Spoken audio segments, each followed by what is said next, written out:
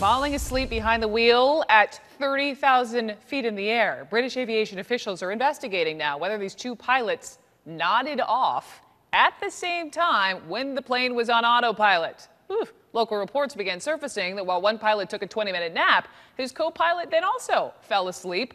The airline in question here says there is no proof this actually happened, but that hasn't stopped the British Pilots Association from speaking out. Today, here's the statement that they released accusing the Aviation Authority of being, quote, far too complacent about the levels of tiredness among British pilots and failing to acknowledge the scale of the underreported problem. So, the man who covers all things aviation for us, Mr. Richard Quest, joining me from uh, the studios there in New York. And so, uh, I mean, first of all, if it's true, obviously it's incredibly frightening, but, but it, maybe the real question is are pilots working too much? And I think that is exactly the issue.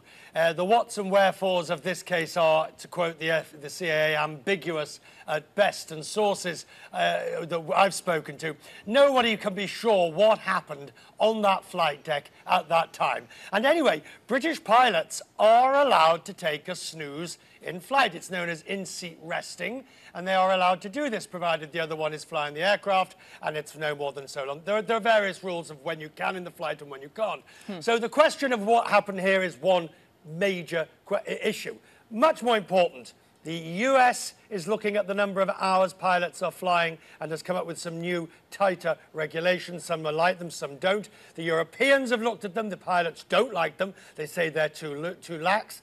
But when, Brooke, you now have these flights, I mean, just think about it. Yeah. From uh, New York to Dubai, 16 hours. Oof. These mammoth long, ultra long flights it's inevitable that pilots get tired and no amount of rest before the flight's going to cure that.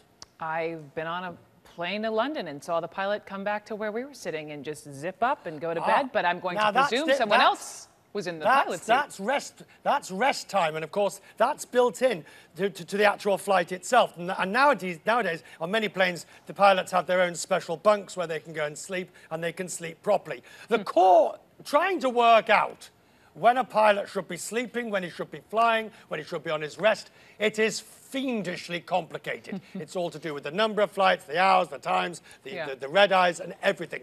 But the core issue remains. Pilots say they are being asked Overworked. to fly too much and they are being asked to fly when they are fatigued. And on that question, we must all be concerned.